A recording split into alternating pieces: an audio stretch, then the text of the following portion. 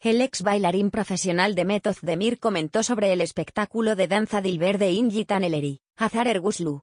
Como saben, en Turquía se ha emitido una nueva serie de televisión. Dilber, la actriz principal de la serie de televisión Ingi Taneleri transmitida por Canal D, es bailarina de club nocturno. Se hizo famoso con su baile de mansión llamado Baile Dilber, del que se habló durante días en todo el país. Demetod Demir también apoyó a su colega, y pronunció palabras de alabanza.